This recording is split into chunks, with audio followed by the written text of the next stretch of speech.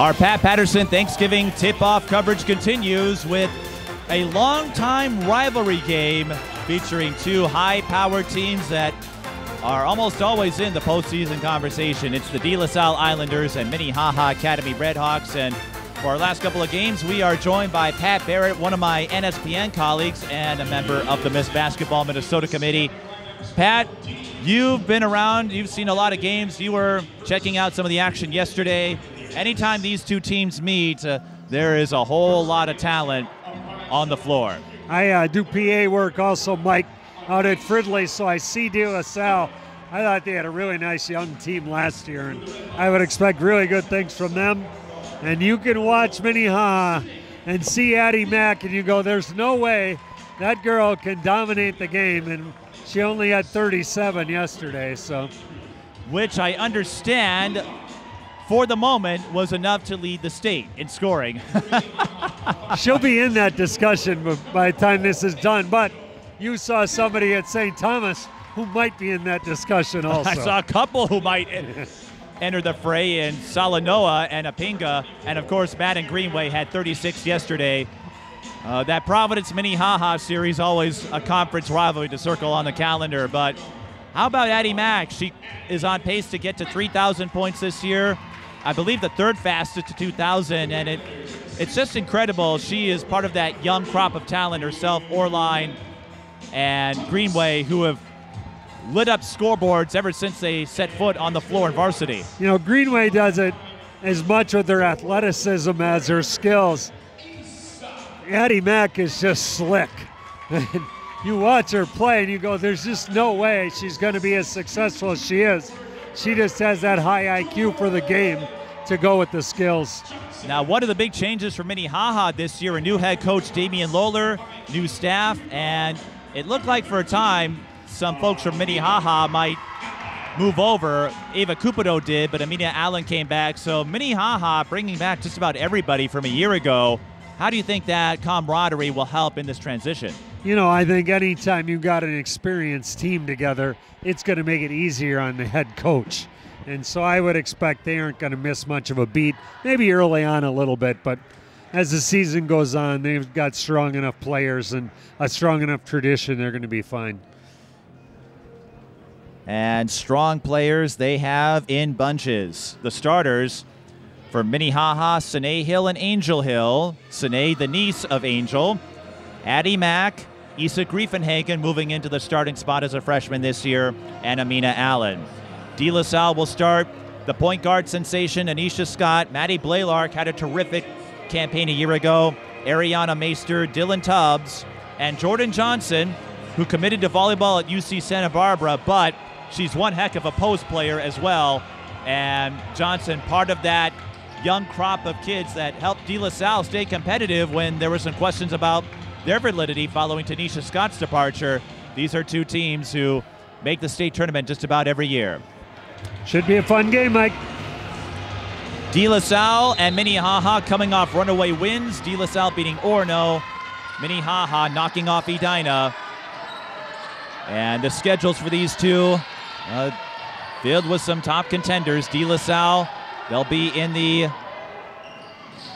Anoka Ramsey Hall of Fame Classic. Minnehaha, they get both Crosby Ironton, Duluth Marshall with the up and comer in Chloe Johnson. Speaking of young guns. And of course, the conference series with Providence Academy. The last meeting between the two set all kinds of records. There's Addi Mack for three. I still can't wrap my head around that, Pat. Last year, Providence and Minnehaha, their second meeting, 126 94. Uh, nothing like a good pitcher's duel, Mike. well, it was. But if you consider yeah. Addi Mack and Maddie Greenway pitchers, they both set single game school scoring records in that one. Addi Mack with the steal on Scott. She's got a lane, but Scott able to disrupt. Here's Maddie Blaylark. Scott steps into the three. It's long. Angel Hill with the rebound. Another thing for Minnehaha that really hampered them last year, they had a lot of health and injury issues. If they can avoid that this year, that should open up some opportunities. Minnehaha Made it to the semis last year, last two years actually. Won bronze two years ago, and I talked to a couple of the parents as Angel Hill goes to the line. I guess they were a little miffed that folks were thinking, oh, maybe Minnehaha's falling behind here. It's hard to say. Providence will be the favorite to win in 2A, but Minnehaha, if they can get these pieces working together, they should pose a challenge. They were in the Final Four last year. I'd be shocked if they don't get back there again. And Albany returns their two best players, too. So those are the top three in my mind right off the bat. Angel Hill knocks down both free throws. She is the youngest of the Hill sisters. Addi Mack times the pass. She'll try it again. Uses the hesi move. Scott keeping her in check so far. Addi Mack gets another rebound. Allen for three. Aneisha Scott again. Aneisha has really upped her stock over the last couple of years, and she recently signed an NIL deal. Here she comes. Her take is offline. Grievenhagen couldn't control the rebound, and Scott flips it in.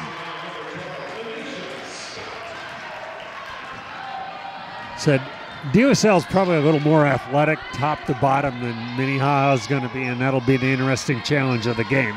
When you look at their list of athletes, I know Aneisha Scott did some track. Here's a backdoor cut for Hill. Sine started at Washburn, then Southwest, and has since moved to Minnehaha. The eldest offspring of PJ. Here's Jordyn Johnson. Nothing there. Dylan Tubbs, no. Gets a second try and puts it in. Here comes Addi Mack on the scoop, still looking for her first bucket. She will go to the free throw line. To your point, Pat, about De La Salle's athleticism, you look at their roster. Jordyn Johnson, she's a D1 volleyball commit. Meister, Scott, they all take up multiple sports. They've got athletes, there's no doubt about it. And Minnehaha has a couple of those as well. Isa Grievenhagen and Sine Hill both taking up soccer this year. Sine in her second year. So two falls early on Meister. She has to step out. And that could hurt De La Salle's interior, but again, they've got athletes. Inbound, picked up by Mack. Long skip, tipped by Blaylark.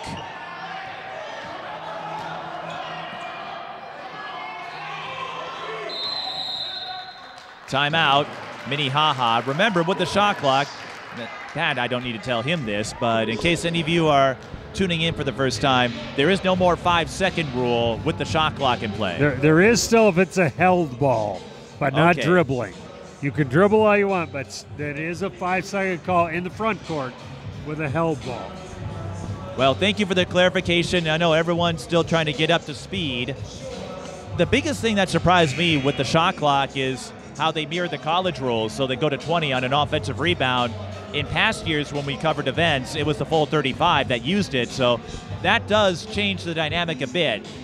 You know, we had that discussion with the State High School League and the liaison for girls basketball coaches and work in conjunction with the boys, and we thought that made the most sense, and they agreed with us. So It does add another element that everyone will get used to. I said I don't think it comes into play much, Mike, in regular season games that much.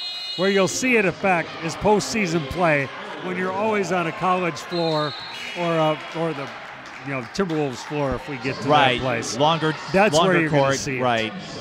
Well, the girls' tournament they play those both at the Pav and Williams consolation games at Concordia. And I've noticed this with White Bear Lake Centennial. Here's a high low. Jordyn Johnson got a step underneath. You want to know something crazy, Pat? I, I was hearing rumors at STA that Jordyn wasn't going to play basketball. One of my other colleagues, Eric Bugard, came by, asked uh, James Fassett, the head coach, about that, and he said, No, Jordyn's still playing. I think it's healthy to continue to play multiple sports. And I you look think- at how well she can dominate. I think it makes sense for her to keep playing. Well, just from an athletic standpoint and keeping your body in shape, it isn't the overuse of using the same muscles all the time the same way. Elbow J for Blaylark is long. De La Salle with a 6-4 lead over Minnehaha. Addi Mack got it. You can try your best, but at some point, it's only a matter of time before Addi Mack finds a way to scoop it in. Now, they've bothered her on a few of her shots already, but said she's slick. She'll figure out ways to get her points. Here's Scott. Right back at you, Scott says. And Aneisha, no stranger to big time environments. Here's an outlet pass. Griefenhagen scoop a little too strong. Scott, I did a game a couple years ago against Mankato East. She hit some clutch free throws at the end to win it for the Islanders on that Saturday evening. Here she is on the spin cycle, short on the bunny. Tubbs takes it away from Griefenhagen. Those are buckets you really want to have. Mack lost it to Scott. Griefenhagen swats it away. Pat, I'm really mesmerized by this point guard battle we've got between Addi Mack and Aneisha Scott. They're not leaving anything behind. It'll be a great battle between two good young guards. It's always interesting coming over here, Mike. This is our first year of technically using the shot clock. In full. I've watched usually a game or a game and a half before I even notice the shot clock. So it'll be interesting to see how much it comes into play in a typical game for us. We did have one violation a little while ago, but I haven't seen a ton of shot clock issues.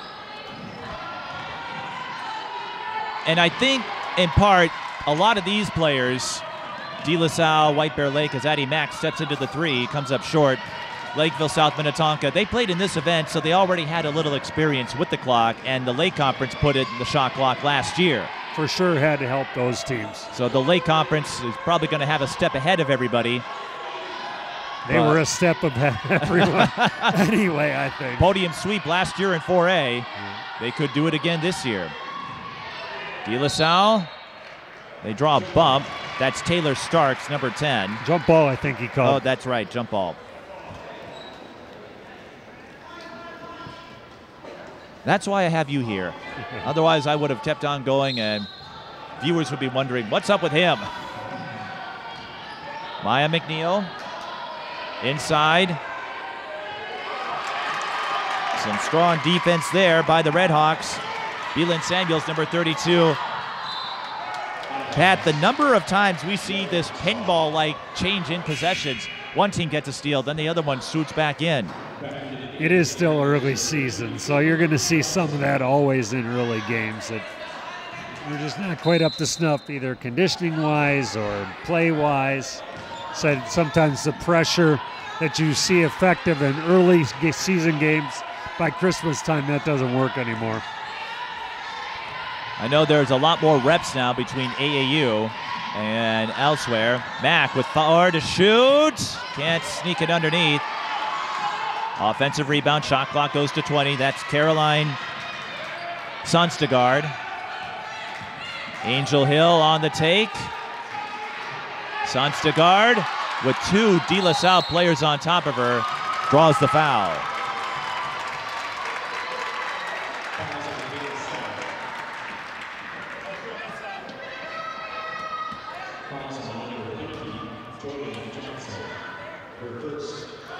The other thing you see here, when you get on these college and pro courts, they have the different three point lines. It's Yes. always interesting to see where the three point shooters set themselves up because it seems logical to set up at what is the farthest out line. I saw a little bit of that in the White Bear Lake Centennial game, and when you're relying on peripheral vision, I think your instinct goes to whatever the first line you see is. No doubt. I know at the state tournament that always comes into play at Williams and the pavilion. You see players who are shooting it, and it's almost always short uh, when you're shooting that much farther out. Well, Addi Mack's got range. To me, it seems like less of an issue. It still is, but as more players like Mack, Greenway, Sara Scalia of a few years ago develop that range, Long time ago, I had a chance to see legendary coach Ziggy Calls, and he said, teach your kids to shoot a step or two outside the three point line because they aren't going to guard you there. They're going to guard to the line. And I think that's what you see with the likes of Sara Scalia. Nobody guarded her out that far because you think, oh gosh, we'll let her have that. And that was a mistake. Of course, you don't have to worry about three point shooting when you've got the interior presence of Johnson, who scored on the last bucket and then comes up with a block on Hill.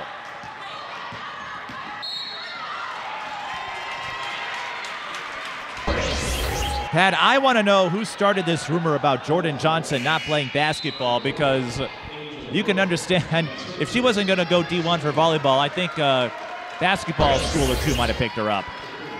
Somebody who didn't want her playing in De La Salle probably started the rumor. Check their schedule. okay, well, they, yeah, they play some high level. I think they got Alexandria next week at the Tip Off Classic. I think you're covering that one. I am. For sure. Should be a great Maybe game. with someone from there. No, you I'm kidding. never know. Backdoor play. I think it's anyone who plays them doesn't want her out there. Dylan Tubbs follows her own miss. She's up to four. De La Salle getting the early advantage, 12 6. Benson from Mack. Three offline. Jordyn Johnson with the rebound. It's two fouls on her, Mike. And now a decision to make for James Fassett with how brilliant she has been in the interior. Do you wonder, Pat, if uh, opponents of Minnehaha try to say something about Addi Mack and say, oh, she's not going to come back? I bet there's a lot of her opponents that want to say that. Timeout with 10.08 left. 12 6 to score. I know you had a chance to see some games at St. Thomas Academy, and you'll be all over the place between your announcing work, your Miss Basketball work, and you and I, we're going to be on different courts, but we'll be together at the Tip Off Classic. I'm usually there anyway. I'm always there as the chairperson so might as Miss well make Minnesota. a few extra dollars. No, it is a good way to see a it lot of It seemed teams. like a logical fit for me. It was going to be there anyway. Those are the games I wanted to watch, so And- I'm excited for What it. I enjoy most too over the years, they usually can get a good out-of-state team. I know Hortonville will play Providence Academy in the later stages, and Hopkins and Lakeville North. They were on a little bit of a summer rivalry. They'll get to play round three.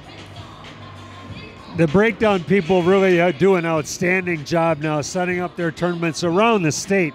There's six or seven of them going on, and there are great matchups, north and south, metro and outstate, all over the place.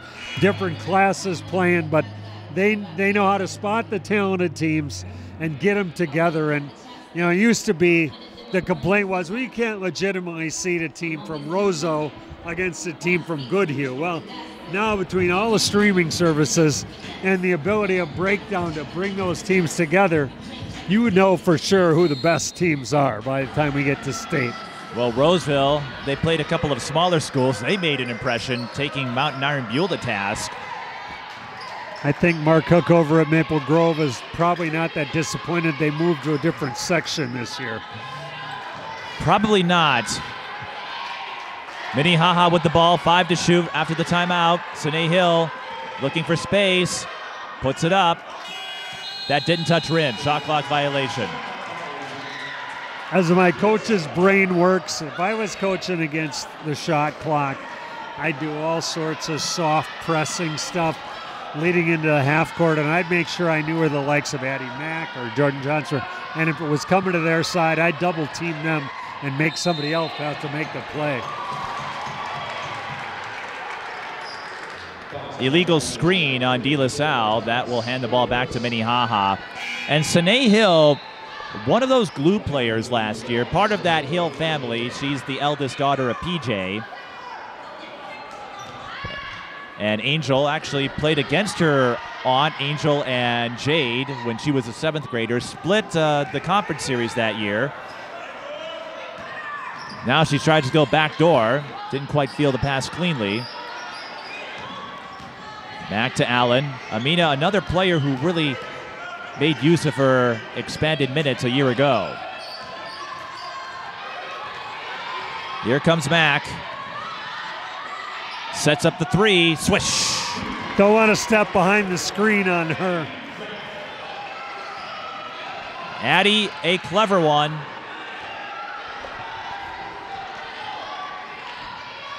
She's also done swimming and golf in her time as an athlete. Scott drops it to McNeil, her three off the front iron. That's Taylor Starks, and she walked. 8.44 to go in the first half, 12 9 to score between a pair of state tournament caliber teams. De La Salle, they've reached the quarterfinals, and how about this? They were leading Benilde St. Margaret's in both meetings last year, just couldn't quite close the deal. And Minnehaha, again, winning bronze in 22, getting back to the semifinals in 23. Angel Hill through traffic. Came up a bit strong. Meister almost lost it. You got to be careful, though, with Addi Mack. She can sneak up and bite you if you're not looking. She just has such a high basketball IQ and sees the floor so well, both offensively and defensively. You're right, she's already got a couple of steals and nearly had one there. Here's Scott trying to get a step on Mack. Banks in the runner. Scott with six. Mack.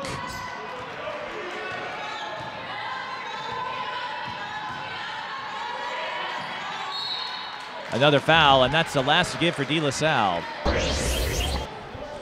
To continue on Mack, I remember covering her in a game as a seventh grader when she was leading her team in scoring at Blake. I had never seen that before. I figured out why she was such a talented player at an early age, and I want to say she almost ushered in this crop of seventh and eighth grade young guns who can jump in and make an instant impact. It wasn't too often you saw Metro kids playing seventh and eighth grade at that level, and now you're starting to see it all over the place. 10 to shoot for Mack. An acrobatic move came up short. Here's Scott again. Through the hole, kicks out. Blaylark, she can knock them down from long range.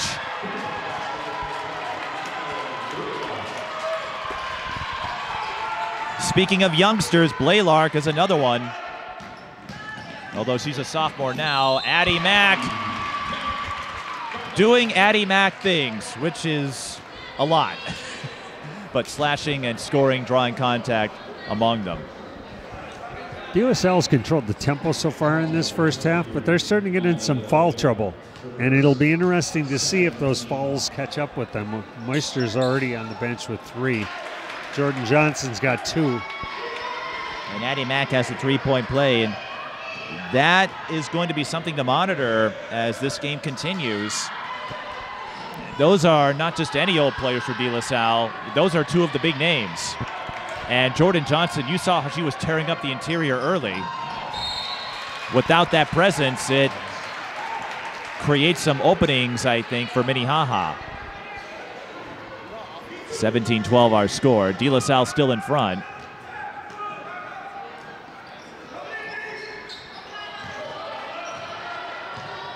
Angel Hill steps into the three. And that was well outside the college three point line. Right. Jump ball. Minnehaha with the arrow. And again, I think that peripheral vision. Pat, I don't know if you can speak from experience as a player, but when you go to the college courts and you have those longer lines, and heaven forbid what you do at the Pentagon, how do you how do you react to that? I think you were saying earlier, teach your kids to shoot a step or two beyond it. If you learn to shoot a step or two beyond, you'll be used to a little longer shot, obviously. But it's one of those things. If I got a team to a college level floor, I would be working like heck to get them to shoot and find that line peripherally in the in their warm-up sessions. Amina Allen scoring for the Redhawks. De La Salle in trouble and a foul on Hill against McNeil. 6.22 left in a battle of what used to be conference rivals back in the day. They were both in Tri Metro. Those were the good old days. And then for a time, they revived the rivalry. The boys girls doubleheader did that for a couple of years. The gyms were sold out. De La Salle's was. Those are the kind of matchups everybody wants to see, you know. It's sad that those teams aren't in the same conference together. Here is a three for Tubbs. And it bounces out of bounds. And there was again, step outside the college three point line, going to be short almost every time. Right, if you're not trained, as you were Yep. saying earlier, again, your sharpshooters. I know Greenway has some deep range, and a few others come to mind. Addi can hit threes too. They're accustomed to it. Those players have to learn that because defensively they're going to be guarded so tough. That's where you might get your only good shots. It paid off for Caitlin Clark. I, would say so. Here is Sine Hill, who bounces in the runner. And Pat, we've got a one-point game now. I think that foul trouble for De La Salle, allowing Minnehaha a pathway back in this. They've lost some of their interior defense with their big kids sitting on the bench, and you can see it's affecting it on that play for sure. De La Salle with a smaller lineup. Elbow J missing the mark there was Layla Moses.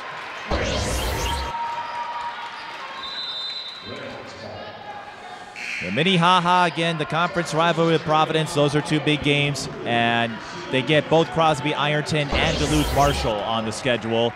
Chloe Johnson, I've never seen a, a kid that young, that polished. And Crosby Ironton, I saw Tori Oehrlein last year at a game against Holy Family. She's the real deal. Those are going to be two big non-conference games. Uh, the, the state is full of young kids that are just outstanding. So, a lot of good basketball to be seen for sure. Traveling call. Addi Mack, a junior now. I, I'm still used to seeing her when she was young, like so young. Almost an old lady now, huh? I, I, uh, her parents might feel otherwise. Uh, probably. yeah. Here comes Scott. When you need a bucket, when you need a big play, that is a young woman you can find. Aneisha Scott, a junior too.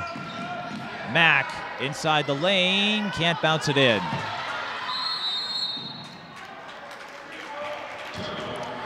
De La Salle calling timeout, 19-16, 4.29 left in the first.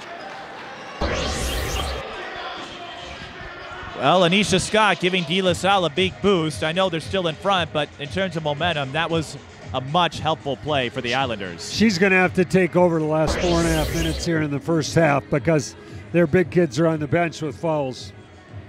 But again, though, Aneisha Scott, she uh, is accustomed to performing in the clutch. Really has built up her pedigree over the years and moved up to the Metro Stars in AAU. I've got a feeling Aneisha Scott will be hearing a lot more about her over the next couple of years. She clearly looks like their floor leaders. and she has fulfilled that role for quite a while. Likes to watch movies in her free time, also on the track team.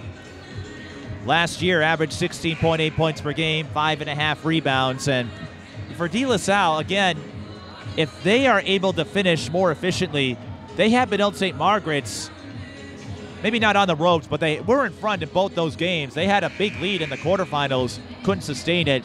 If they can find a way around that, I think they could play spoiler. A lot of folks picked Benilde St. Margaret's to win in 3A. I did as well, but I feel like the field is pretty open. It'll be interesting to see until Kendall McGee comes back what they're going to be like because they'll certainly miss her presence early. Uh, if she returns this season, I know Yep. The McGees are a little more cautious about her. They want to make sure she's cleared with her trainer before she returns. So we'll see if she comes back. But Benilde St. Margaret's has a lot of pieces. Blaylark lost it. Scott, oh, look out. Scott had the open three. I was a little worried about Blaylark, though. She's down on the floor. There's a lot of bodies down there. There's a pileup on I 94. And now Minnehaha goes to Allen. Scott to Blaylark. On the run, the Islanders are, and free throws coming. for Layla Moses, number 13. That's at least two on Hill. It is her second, and Minnehaha, they don't back down either. So I know last year they had players that would get into foul trouble quite a bit as a result. Moses at the line, scored six points. Johnson led the Islanders with 19. De La Salle beating Orono handily.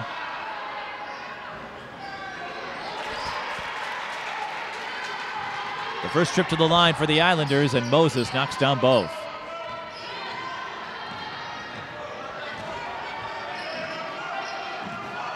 Angel Hill pulls up. Couldn't shake off Layla Moses. And De La Salle with a chance to extend this lead. Sure, James Fassett over there would be really happy if he sees something off his bench. Those kids stepping up, replacing the two bigs out of the game.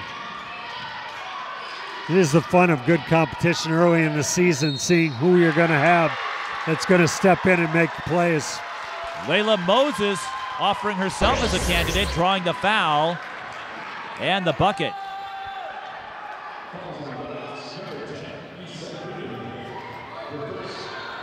Grievenhagen hit with a foul.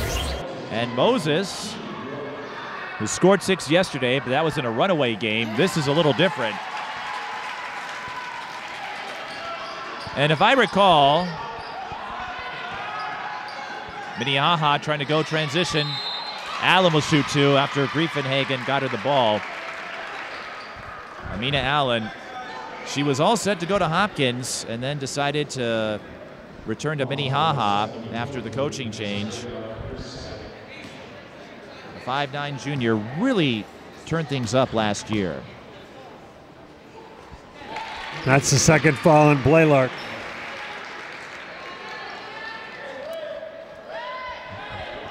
And remember, Jordyn Johnson and Ariana Meister already with two fouls. Blaylark will stay in there. And they'll have to be careful, Blaylark especially. Allen makes both free throws, 24-18. Long skip. Moses on Hill. Can't get the bounce that time. Sine Hill, that is. There's two of them. He'll had to be careful because she's got two fouls. Mack with a transition dime to Allen. And Amina with a quick four points for the Red Hawks. If you're De La Salle, you want to get to that second half without any more foul trouble. And there's somebody as shifty and elusive as Scott is. Only five foot five, but embodying that new unit, the new identity. An impact player since her freshman year. Minnehaha did have two fouls to give. Both Hills now have two fouls. Last year with Minnehaha, we'll see what this year brings, but it felt like every game was a battle of attrition. Minnehaha aggressive on defense, and that sometimes can get you caught in foul situations. But it can produce plays like that. Scott again. And now Moses. Oh my goodness. Pat, we are seeing a track meet of defensive proportions. You know, both teams, good basketball IQ, good hustle. A lot of great plays out here defensively for sure. Now, Pat, what would you do to prep for a new season? And I'll explain why I'm asking that question here. When a new season came along, how did you prep? To me, you've got three segments in this season that you look at. Before Christmas time, I'm looking at lots of kids, trying to give, especially my seniors, a chance. Back in the good old days when a lot of seniors played, give them their chance. After Christmas, usually is when the conference season would kick in. Allen, a nice bucket there. And at that point, then you try and settle in on your eight or nine players. And then when it got towards postseason, then you were really uh, gearing in on who's the seven for sure that we're counting on. Offensive foul on Dylan Tubbs. Well, the reason I asked that question, Issa Grievenhagen, who went to the line, missed the front end. to prep for this season, she went back and watched film of herself, and every time she proceeded to yell at the eighth grade version of herself, going, "Why would you do that?" You I thought it was it's part of the learning process. You know, for some people that's good to look and see what was they doing wrong. I want to make sure I don't make those mistakes again. That's what great players do.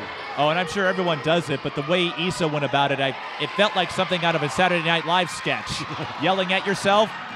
I mean, I go back and watch my own film of broadcasting, but typically I cringe. I don't yell at myself. Why did you come up with that verb or that adjective? I, try not to yell at myself too much.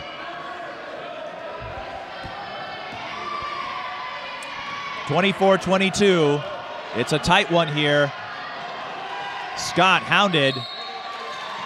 And Minnehaha, I tell you what, Pat, it, the point guards in particular, Scott and Mack, neither of them can flinch the other. They are just unwavering, unfazed.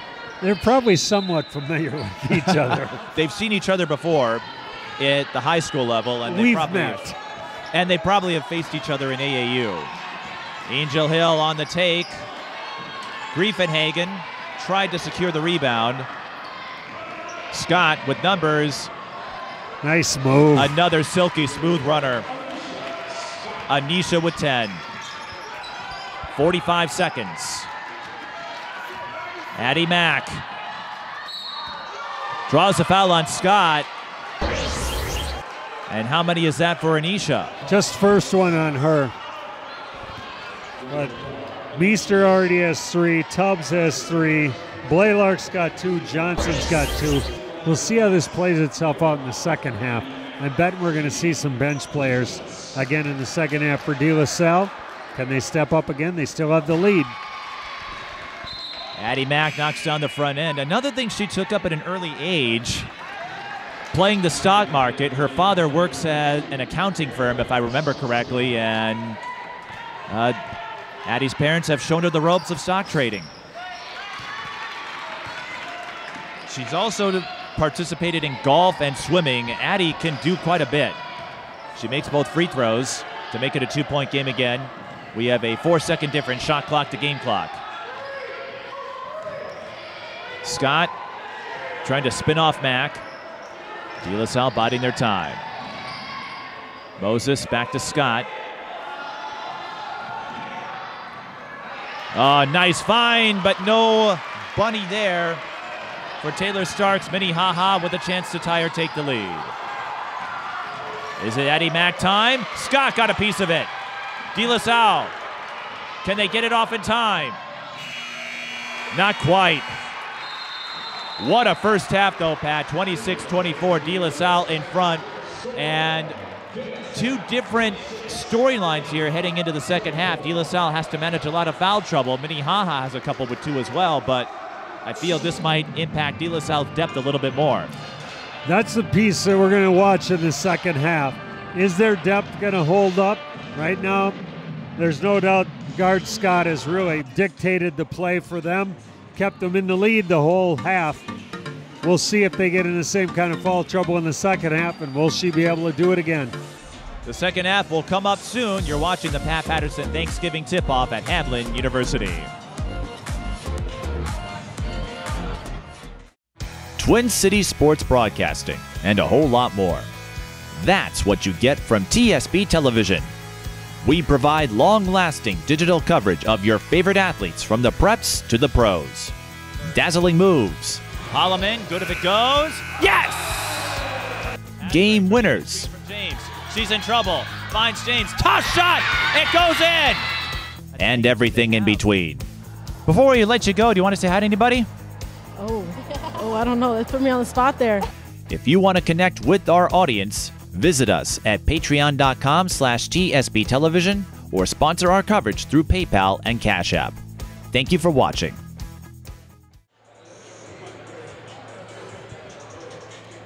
Mike Peden and Pat Barrett back with you. And De La Salle and Minnehaha continue to engage in a high caliber non conference game. An early tune up as these two have their sights set for a March date or two. 26-24 our score. De La Salle in front. Aneisha Scott and Addi Mack both have 10 each. Layla Moses has five off the bench for the Islanders. Amina Allen, she came on late in the first half with eight points, but Pat, I think the story is going to come down to the foul situation. Johnson and Meister had to go out early with two fouls, didn't play a lot in the first half. If they're not careful, uh, they could find their playing time limited in the second half. I think they dodged a bullet in the first half, and Scott really carried them in that first half of play. They did get the good minutes off the bench from Moses. I think they need him on the floor the second half if they're going to maintain this lead. There's Meister, her big sister Nevea, played at Tartan and Cretin Derham Hall. But Meister and Johnson, part of that Twin Tower core with De La Salle over the last few years. A fantastic game here at the Pat Paterson Thanksgiving tip-off. Jordyn Johnson with the layup. More of a bunny, I should say, but a three point play chance nonetheless, and that is why she's got to stay on the floor. If their posts are able to stay on the floor, they're too physical inside. I really think Jordyn Johnson is a difference maker. She's got positioning and strength that Minnehaha maybe doesn't have right now. Allen steps into the three. Bullseye. Minnehaha, okay, they may not have size, but as Amina Allen just showed, they've got sharpshooters. She's given him some good punch from her position. Already got nine, I believe, in the game, or 11.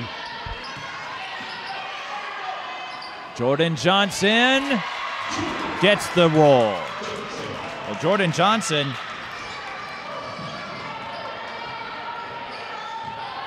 already with a couple of buckets here for De La Salle in the early going. She times the pass and swipes it. She's got Scott up and in.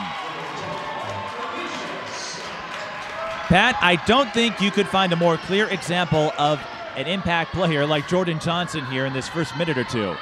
I just think athletically, if they keep those posts on the floor, they're a little too athletic, I think, for Minnehaha. A little too strong, a little too quick. Johnson with two buckets, a steal, and an assist to Scott. Long three. Guess who? No layup, but free throws coming. And it's Jordyn Johnson once again. She's just too tall. physical inside, Mike, for them. The 6'2 junior, I'm starting to agree with you. I think opponents were spreading some silly rumors, hoping I would fall for it, but that's why we have a network of people. I remember telling Eric, I think I need to speak with you a little more often. You were on top of it. But Jordyn Johnson, she's a year younger than everyone else is in her class. She skipped a grade.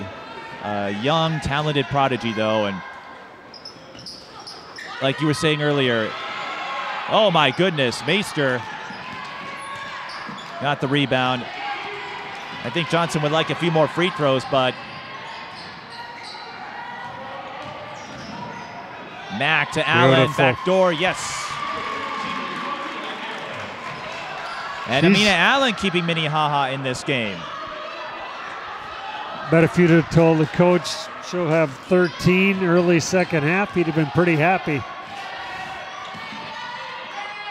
And it's worth remembering as we have a scramble. Foul on De La Salle. It's worth remembering, Pat. I say this a lot. Yes, we come here to watch the headliners, Addi Mack and Aneisha Scott, or Maddyn Greenway of Providence, or Liv McGill at Hopkins, but you can't win the sport alone. No. And Allen, a capable role player, again, she made the most of her expanded minutes a year ago. Maybe she doesn't get the attention that Mack does, but when you can get help, it goes a long way. STMA, for example, in the win over Eastridge, they did it by committee between Jakayla Kraft, Kale Junkie. There was a Abby time Hasselton. maybe you could have won with one or two players. You're not going to do it at the high level anymore. Nine to shoot. I'll follow on that point in a moment. Here's Addi Mack on the corner three. It's short. 2A comes to mind because you remember 10 years ago or so, Rebecca Dahlman at Braham and Carly Wagner at New Richland HEG. 2013, Carly Wagner basically won it by herself in terms of scoring. Here's Jordyn Johnson. Out muscling Grievenhagen. Wubba, wubba, wubba, wubba, woo, woo, woo. She's in beast mode inside right now. I didn't like sitting most of that first half. I've beaten this point repeatedly, but to anyone out there who suggested she wasn't coming back to basketball, She's back. you're a fool. you you are a big time fool. Well, hey, Olivia Olson came back to soccer, and look what happened there. I always say the best kids should be playing multiple sports. It's just better for them all around. Jordyn Johnson up to 11 points, seven in the second half. De La Salle up by six. How did Angel Hill scoop that in? That is a tough degree of difficulty for your first field goal, but you'll take it. Any way you can get him. As long as it goes in, it doesn't matter how. Traveling violation. So Tubbs has already gone to the bench with four falls for De La Salle. Again, Johnson, I think, only has two. Meister has three. So that, that's going to dictate a lot of this game, I really think. They can stay on the floor. You can see physically they dominate the inside. Well, so far, Johnson avoiding that foul trouble that sidelined her for most of the first half. Angel Hill, another step, another finish. No matter which Hill sister it is, anytime you leave a lane open, there's a good chance they'll drive through it. They only had four and two in the first half, so they need them here in the second half. They're going to win this ball game. Jordyn Johnson all over the boards. It will be a dead ball rebound to Minnehaha, but Pat, if Minnehaha can't find a way to contain Jordyn Johnson, De La Salle could very well hang on to this one. Said they have the inside play if they can keep them on the floor. They've got the advantage big time down low, but it's only a two point game. And Amina First zone we've seen tonight, Mike.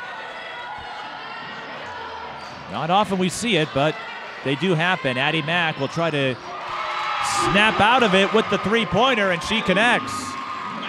That's her second, or yeah, second three. The question came up in our discussion the other day will we see more zones because of the shot clock?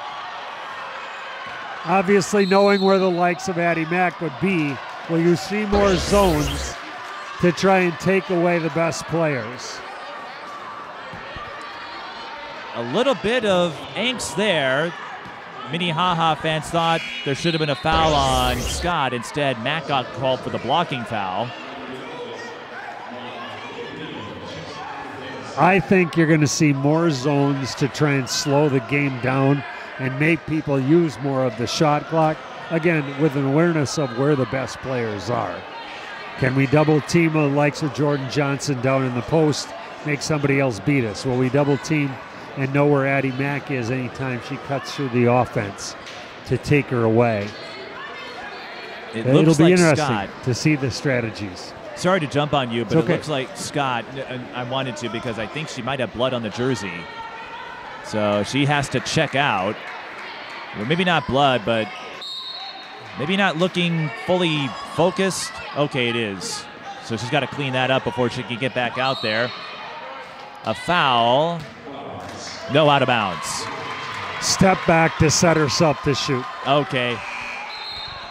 A little tougher to see on the near corner, and I'm having to reach over a bit, but that's all right. So Scott, she's just got to get cleaned up, and she'll be able to return. That is a safety precaution. So De La Salle, for the time being, without their primary point guard. It's the first time they've trailed in a long time. 36 35. That three by Mack giving Minnehaha the lead. She lines it up again.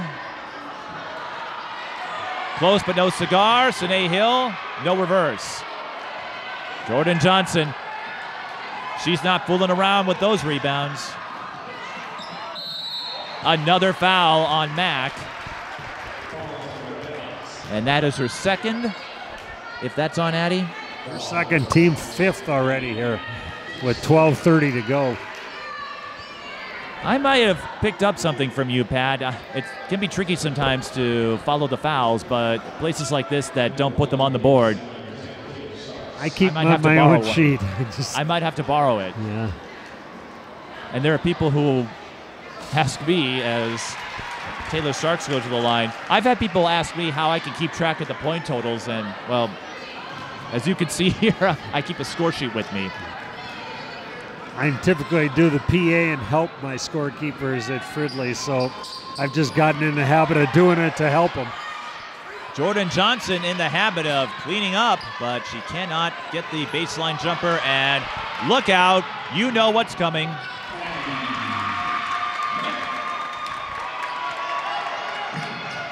Addi Mack, you give her a lane, you give her a step, it's going in. Jordyn Johnson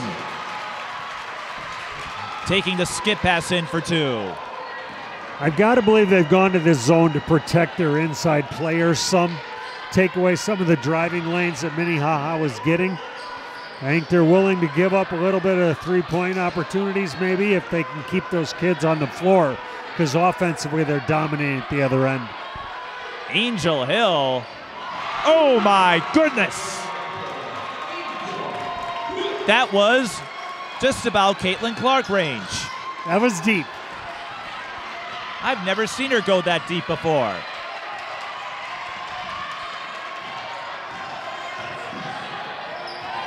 Meister. Oh, nice bounce pass underneath. 41 40, Minnehaha up, and Angel Hill drops another three.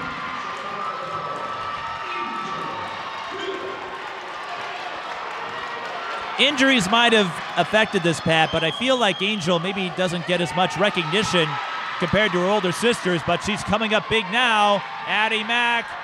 Oh. Sometimes I ride the wave of fans' energy like that, and you want to see them do well. Sure.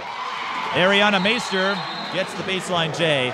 And to clarify, well, most of you know this. You follow me on TSB, NSPN, wherever I'm at. The station changes by the day, but I don't root for any one team over another. I want to see them do well. So when you hear me react that way, it's because I'm like, ah, shucks. I just love a good game. It doesn't matter to me. I want a good game. Play no favorites. Going back to Angel Hill there, a couple of threes and almost had the transition dime. I feel like maybe she doesn't get as much recognition as Taylor, Jade, or Morgan did, and they all were exceptional athletes. And that's not to say Angel isn't good. We know she's a capable playmaker herself, but to go on this kind of run, it's helping Minnehaha, and this back and forth seesaw battle continues. This is what we expected coming in. Two good young teams going at it. Some missed shots, some missed layups, some turnovers, but really it's been a great basketball game on both ends. Well, not even Caitlin Clark is perfect, or Hioka. And it happens even in the pros. I was a WNBA you watched the writer for 10 Timberwolves last night, you know that. Hey, well, when you play 82 games, you're going to have some fluctuation. Not even 26 in a regular season for high school now. That's a lot of games in a short amount of time. Absolutely. It is a long season. I think basketball and hockey are the longest. It's the Minnesota winters that make them feel so long. Right.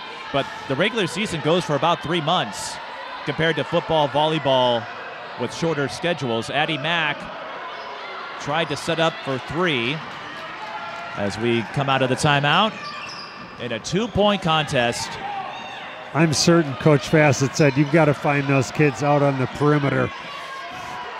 Did a good job that time. Maddie Blaylark finds a space underneath. That's just her second field goal. A little crazy to think, but It's early season still. right. Well, and again, ebb and flow of basketball. Sometimes you're going to have big nights, other times, maybe not. Angel Hill, well, that's what you're talking about. Foul before the shot, but you saw McNeil go out to Angel at the key. Going off what you're saying, Patch, he hit a couple threes, and now De La Salle has to pay attention. Have to start stepping out on her and Addi Mack. You can't afford to trade two for three. But in doing so, even though Angel was fouled before the drive, when you have to close out like that, that can open up those driving lanes. That's what you have to figure out. What, where is it going to be worth it? Who do we have to worry about that's going to get into the inside? And what and do you have she's to worry got it, obviously. Tie So- up. Like Addi Mack, you have to be cognizant because she can beat you just about anywhere. We I- know Angel is a solid slasher. That's what's giving De La Salle problems is the slashing ability. You know they can shoot too, but the slashing got them in foul trouble in the first half. And that may be explaining the zone formation they've used since then, as Addi Mack's shot isn't there. Issa Griefenhagen, nobody on her. Her first field goal. I think the zone move was good because it's protecting their big kids inside. Now they have to make the adjustments to take away not only the three but the slash out of it. Again, it's early season, so that zone will get better as the year goes on. And that's why you schedule games like this, like Providence, Dowling Catholic yesterday. If you think you have a chance to get to the state and maybe win it, you want to play everyone you can find. I know I looked at Alexandria's schedule, They and they're another here. one in 3A. They're playing everybody, and they should because they have a chance, the, the talent to win the state if everything goes right. Griefenhagen with the little backdoor slip to Angel Hill. And Angel's got 14. Minnehaha with their largest lead of the game. Aneisha Scott can't hit the pull up. Look who's there. Jordyn Johnson, 13 second half points. Again, limited playing time in the first half. But she is making these minutes matter here in the second half. They've gone back person to person now. Addi kicks out. Allen for three. Long. Angel. Ooh. For a moment, I thought Scott had a clean block, and then the contact came in afterwards. Following through on the block is never a good idea. Following through on your shot is a different story. Much different. Angel Hill at the line. Angel having a solid game. And remember, she didn't get a whole lot of action last year because of the injuries she was dealing with. So she really didn't get a chance to showcase who she is. It's amazing over time. We were talking before the game about UConn, and I think Fudd and Bueckers have played 16 total games together in their careers now, with Bueckers already a senior. You know, and Fudd's a year behind her, but now she's going to miss the whole season. Again, I, I, it's always my worry when you're a one sport athlete and you're doing it year round. I just don't think the body is typically made to hold up. Even the likes of KG in the NBA wasn't going to play the summer stuff anymore, and LeBron has made the same choices other than the Olympic years because it's just too much. Angel draws the foul on the take. Back to the line she goes, and and to be clear, freak things can happen. Nia Holloway comes to mind. She was a track and basketball athlete, and stuff happens uh, from time to time. But again, I agree with you on the multi-sport part of it. And then Paige Bueckers in an ESPN story also noted maybe I came back too soon after the knee injury. And she talked differently about how she was eating and about how she was training. I read the article last week. It's a great article if you haven't read it. But it talks about what you need to do if you're truly committed to giving yourself the best chance to stay healthy. Because the game is physical now. There's no doubt about it. But, you know, if you're going to play that much, your body has to be ready for it.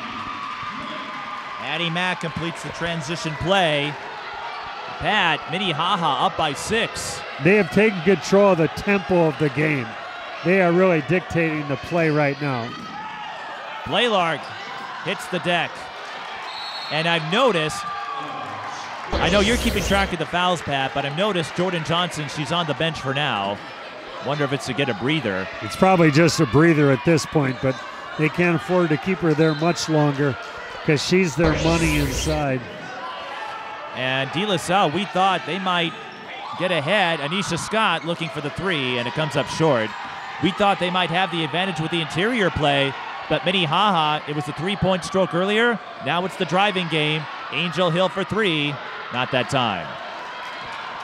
The, the pace has really gone Minnehaha's way in this second half. That being the third foul now on Mack here in the second half. And that is a player you don't want to see in foul trouble, no matter the time.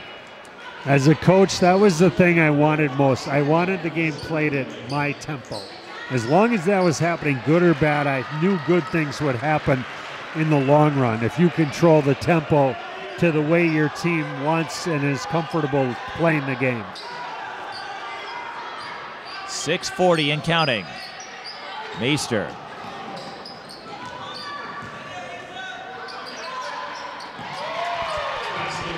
That was a badly needed three for Dylan Tubbs and De La Salle.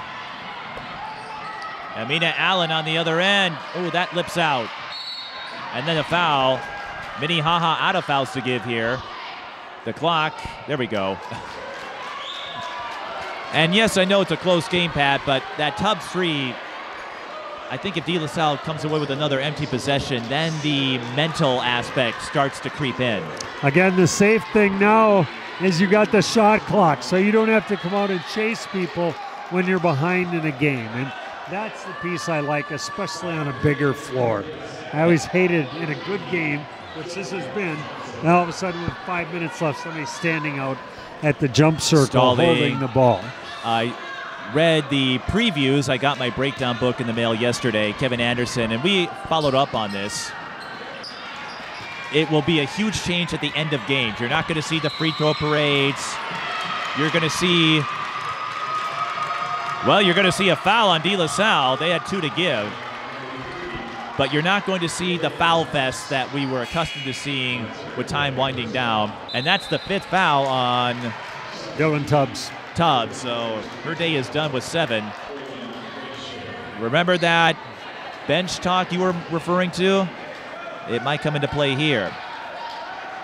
But earlier today, yesterday, we've seen the end of games go a lot more smoothly now. You're not seeing those foul fests. Teams are playing for the clock, trying to get that stop. And it seems ironic, but it makes sense. It just makes for a cleaner game, I think. You get to see more basketball played.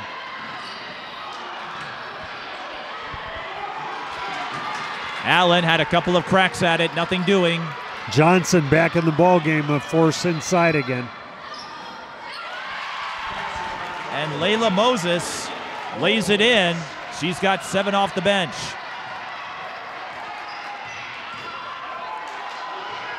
And everyone bringing the noise. De La Salle, their bench has been energetic throughout this second half. Oh! Angel Hill throws it away. 5.14 to go. It feels like there's more time left than we have. the way this game has unfolded, the ebb and flow. A classic rivalry game. And free throws coming for Aneisha Scott. Since they've gone back to the person to person defense, De La Salle has gotten back control of the game as far as the tempo. And that is the fourth personal foul on Sine. Hill. De La Salle moving back to Section 438 this year.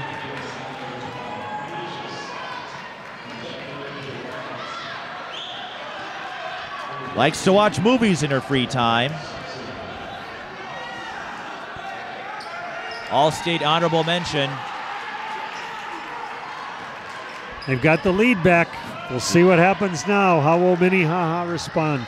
De La Salle was struggling a bit at the free throw line. Aneisha Scott almost picked Addi Mack's pocket, and then a foul. That's not what you want to see. That's her third now. And with De La 16. Salle, well, they no, they had one to give. Yeah, it's not bonus yet. That The was their sixth. Yes. that happens too. Remember, it's the opening weekend of the season. There was some confusion with the foul tally in some earlier games.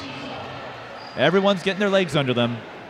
Even me, I'm not perfect. It's still Hard early. believe, I know.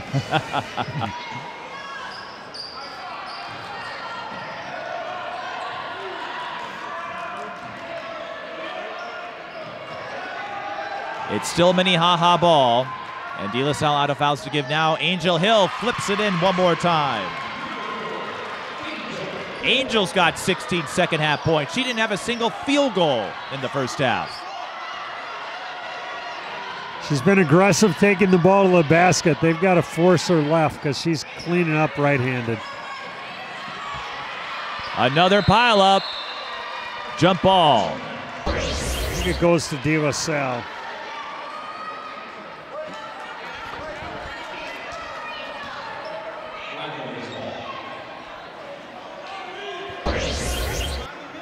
Four sixteen.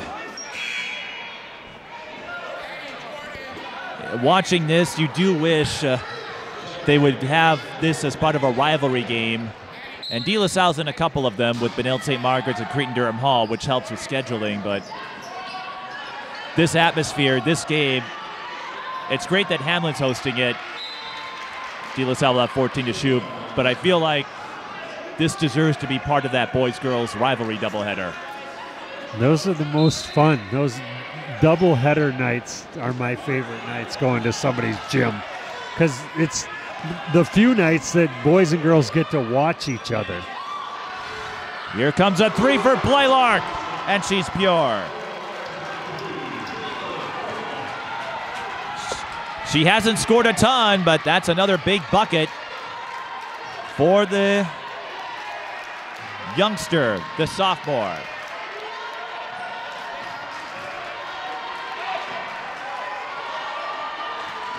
Mack used up the dribble. Timeout, Minnehaha. Five, I should say 334 to go, two point game. You were talking the fun of those doubleheader nights, Mike. Back in the 80s and early 90s, they scheduled games in the Metro and most conferences Tuesday, Friday, Thursday. So if the boys played Tuesday, Friday, girls play Thursday and occasional Saturday, they'd flip flop the next week. So boys and girls got to watch each other. Now, almost consistently, basketball is Tuesday and Friday night at opposite sites. So you never get those fun nights unless it's a doubleheader. And that's why I like these invitationals that offer matchups like this. Pat, De La Salle up by two with that last three pointer by Blaylark. And Jordyn Johnson, again, responding brilliantly in the second half. Angel Hill with a great second half surge of her own. What will this game come down to with 3.34 to go? You know, the best kids step up at this time, make the plays. You can see right now the defensive of De La Salle has taken back the lead. They had to go to the zone. I think it was a great move by Coach Bassett because it protected their best players and kept them in the game. So now they're in the game, not in serious foul trouble. They got the lead. Now they can go back to the pressure game, which they really like to put on. That's where they can take advantage of their athleticism. And they've taken the lead back with that athleticism on the defensive end, has caused the plays that led to offense. All right, both teams out of fouls to give. De La Salle with a two-point lead. Minnehaha holds the arrow. Both teams still in the one and one range. Remember, that's still a thing here in Minnesota. Angel walked. Took away her right hand. That's the difference. We're saying- if you let her go right, she's going to kill you. If you make her go back left, at least you got a chance to turn her back into someone. And that's what they did and got the turnover. I'd argue even at the NBA level, if you take away the strong hand, you got a lot better chance stopping those right. guys. It may not always work, but you're right. Give yourself that opportunity. That's all you're looking for. Count it. Layla Moses.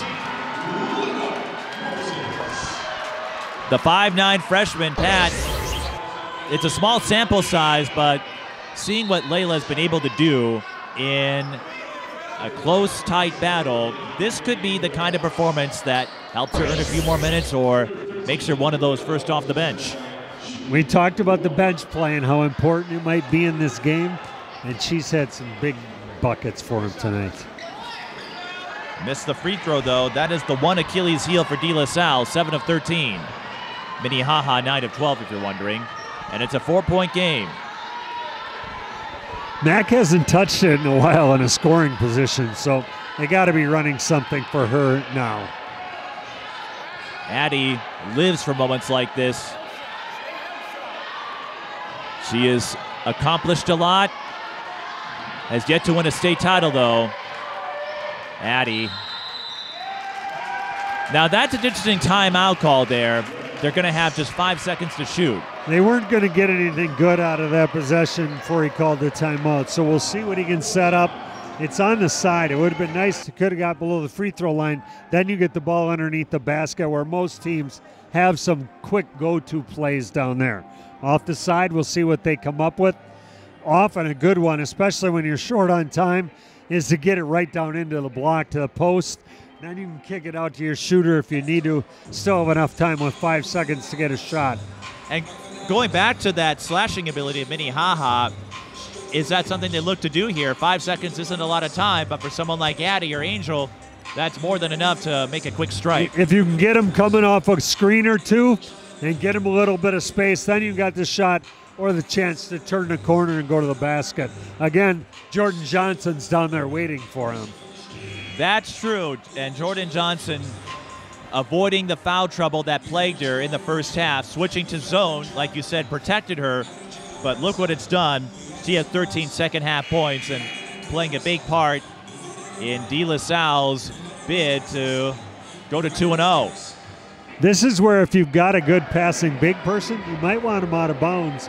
It would take her away from the basket. Right now they've got her out at the three-point line defending someone. So Coincidentally, and that's what it that's how it worked.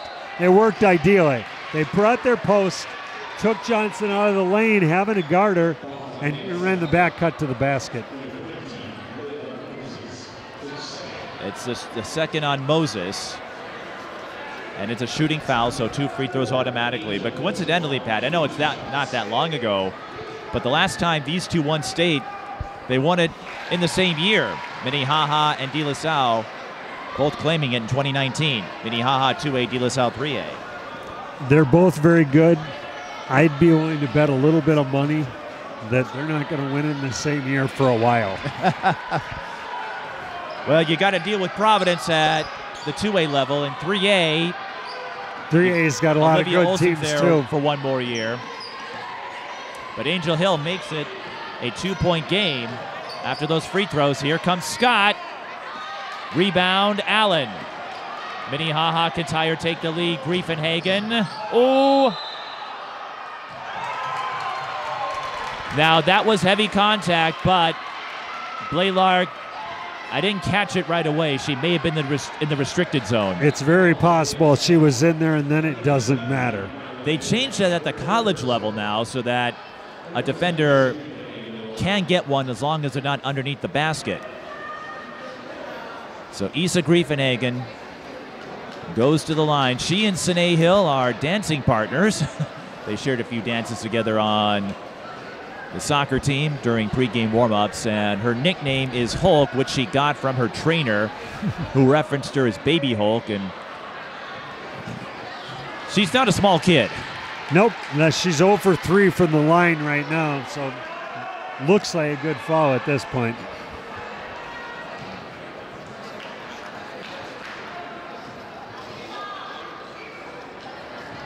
Oh for 4 now, but Angel Hill got the rebound. Maybe not enough on that one. Tie up, Minnehaha with the arrow. Minnehaha. And they'll get a fresh 20. Remember, it resets to 20. Not 35 as it had been in the past when it was used on an as needed basis, I guess is the best way of putting it, or an optional basis. optional. There we go, Optional, optional. Yep. I like the 20. I better than the 35. Angel Hill again too far underneath, and Jordyn Johnson gets the rebound. Now here's where you're talking about end of games. De La Salle can't lay back. They got to Still got to run your offense right. now. They can't sit back and wait for a foul, run out time. They got to play smart. Aneisha Scott got her own miss. Jordyn Johnson, close. Addi Mack gets the steal. Uh, Minnehaha couldn't box out properly, but Addi Mack giving Minnehaha another chance. Now Scott's all over her. And another timeout Good timeout. for Minnehaha. If you go below the free throw line and you're not along the lane line, you're in big trouble against a good defensive team. So that was a great timeout because she had nowhere to go with the ball. 128 left. You and I were on hand for a photo finish last night with Providence and Dowling Catholic. I don't know if this matchup draws the same anticipation, but we are getting quite an exclamation from two perennials in 2A and 3A. These are two very good teams in our state. There's no doubt about it traditionally, and it's been everything we hoped it would be. Been a great back and forth games. Both teams have had the lead. And what has impressed me the most, they've done it with all the changes that come about with coaching moves, Matt Pryor stepping down, Damian Lawler coming in for Minnehaha, James Fassett came in for De La Salle after there was some skirmishes there, taking over for Tanisha Scott who built up that program. You wonder how will they move forward? They look pretty good here, Both coaches are doing a good job. Ultimately, both teams got players. and that certainly helps. Addi has done a lot of work with Damian Lawler. Mack got the three. Addi Mack with 20. She said she wanted to be like Paige Bueckers when she was a seventh grader. Scott loses Mack, but can't hit the three. Rebound Hill, but she's in a lot of trouble. Jump ball. De La Salle with the arrow. Goes to De La Salle. 55 seconds left. And we still have another game left on this evening slate. 30 second Timeout, De La timeout for De La Salle. Salle. 55.3, 59 58. This is one of those games where Alex told me this last night. I think I could repeat his point. This game feels like a win for the sport of girls basketball with all of the moves and counter moves we've seen. This is the fun of these tournaments is pairing good teams together. This is what you hope for, and this is what both teams want. This is why you schedule these kind of non-conference games because they bring out the best of you, and if you're weak in a certain area, it'll get exposed in these games, and then you can go back and work on it at practice. Say if we're going to get to where we want to get, this is where we need to get better. I've always said a clue you can find to gauge the competence level of teams how they schedule non-conference. The teams that think they have a shot, they take it. They take their chances. You'd rather find out in November than in February or March. Aneisha Scott not there. Jordyn Johnson. Oh. She has been brilliant on the boards, but having a little trouble finishing here. Now Minnehaha cannot hold it for the last shot or run out the clock. They've got to run a play. 10 second differential, so they should get the ball back if they can come up with a stop with enough time to get a chance to get the winning basket. Addi harassed by Scott. Looking for Allen, throws it away. Scott with the steal. Meister on the move. Couldn't handle it. 17.9. Great hustle back by Sine Hill there, making the defensive play. There's the timeout for De La Salle. I saw it coming.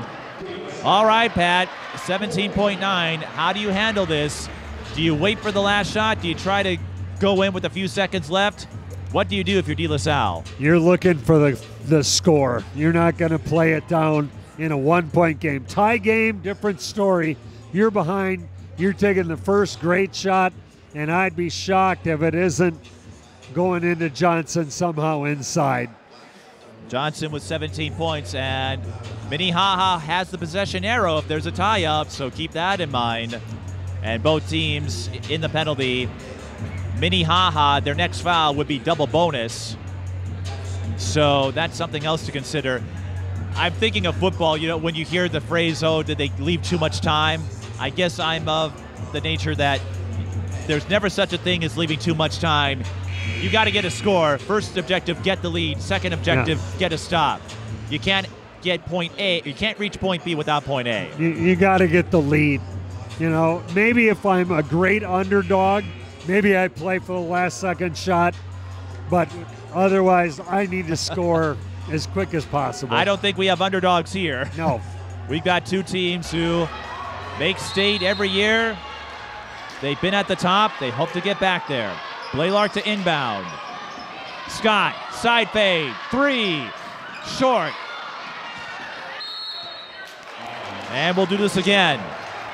I think you had Johnson coming down the lane one on one. That's where I would have gone with the ball. I know, I know your guard Scott is outstanding, but you had her waltzing down the lane. Inside, she's got position right now. Scott takes it herself. Now you've got a foul.